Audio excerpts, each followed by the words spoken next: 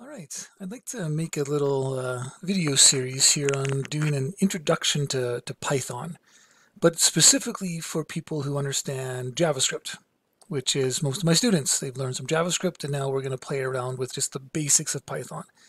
And the goal here is, is just the basics of Python. Input, output, variables, if statements, loops, nothing, uh, not functions or lists or data structures, that kind of stuff. Just, just the basics. And I thought it'd be interesting. I've got two uh, two replets here. One is just a JavaScript sandbox, um, just a little web page here, and I can do my little alert, hello world. Right, and if I go here and refresh, this should run my JavaScript, and it'll do a little alert, hello world. And then I also have a replet here that's a Python replet.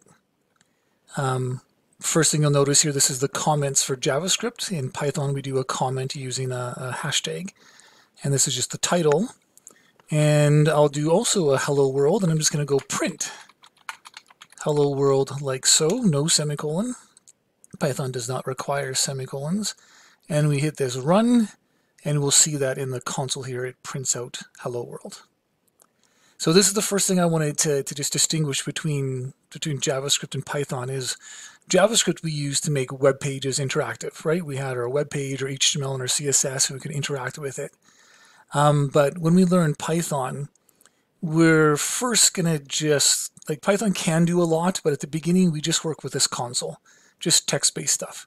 If I was running this not on Replit, but I'm on my regular computer, I ran this, this main.py file, it would open up a, a little window and it would just have text that can that we can print out. So that's the first thing just to get used to. Um, so when we do learning Python, I want to compare it to JavaScript. I'm just going to compare it to simple JavaScript programs that just use like alert and prompt, um, just like we have our basic input and output with a console. Okay. Um, all right.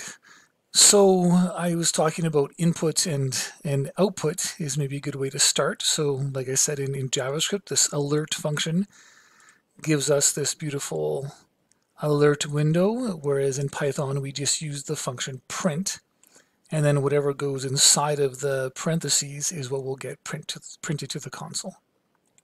Um, let's do a little input program, um, or get some input from the user. Let's do something like uh, let name be assigned prompt. What is your name? And maybe I'll do time of day. Is assigned prompt. What time of day is it? Uh, I'm just going to zoom out a little bit here, or make this a touch wider so we can see it.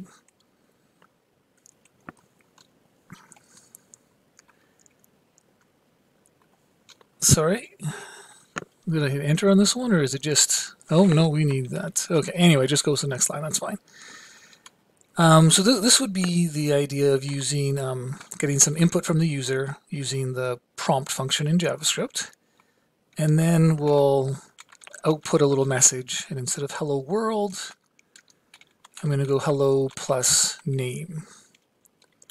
And then maybe another alert. Have a great time of day. Right, and if we wanted to add some punctuation here, add a period to the end, and maybe I'm excited, and we add an exclamation mark there. Okay, so input and output, right? Use the prompt. Let's see what this looks like in JavaScript again. What is your name? Let's go Nathan. What time of day is it? Night.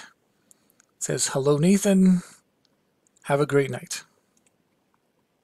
Okay, so simple input and output. Let's see what that looks like in, um, in Python.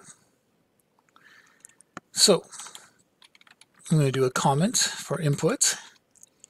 Now, the way we declare a variable in Python is we don't actually need to declare anything let. We can just do the name of the variable, name. And then there is an input function. Okay, and this input function will prompt the user for a question, which we put into here. What is your name? And I'm just going to give myself a little more room here. Okay, what is your name? And then uh, same thing, time of day. Now in, in Python, there's a convention that instead of doing the camel casing, they often do just uh, underscores, but that's up to you, it doesn't matter. Uh, what time of day is it? Um, and in general, variable names do apply in terms of you can't have spaces, you should just stick with letters and numbers and those kind of things. Okay, and then we'll do some output. And again, just the print, we do the exact same thing in Python. We can add strings together. So you can go hello plus name and a period, and then print have a great time of day. We just use that variable. And let's do an exclamation mark. No semicolons needed. I'm, I'm used to that with JavaScript. Okay, so let's see what this does, right? We just do this input function. It'll ask the question and store the result in these variables. And then we can output the message with those variables. Let's give myself a little more space here. Run. What is your name? Let's go Megan. Time of day is it? Morning. Hello, Megan. Have a great morning. Okay, so very similar, just variables. We don't need to declare it with let. You can just make a variable. Um, and then this, uh, this input function pauses the program and allows the user to type something, and it'll return what the user types in, and we can save it in that variable. Alrighty. Okay, so I think I'm going to stop there for this video. That's just a quick introduction to input um, and output with Python, right? The input function and the print function. Um, in our next one, oh, I'll sort that out later. Choose my changes. Okay, um, in the next video, we'll look at doing like a simple calculator, right? Do numerical input. Um, so, so far, everything we've worked with is with strings, right? With text. Okay, hope that made sense, and we'll see you in the next video.